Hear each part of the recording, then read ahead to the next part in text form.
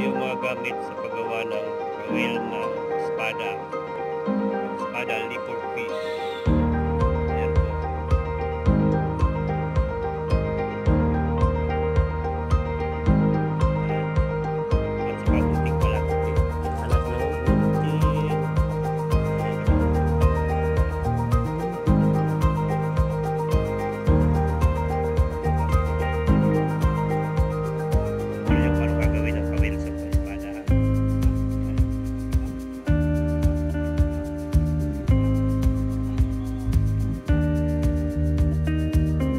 A few moments later.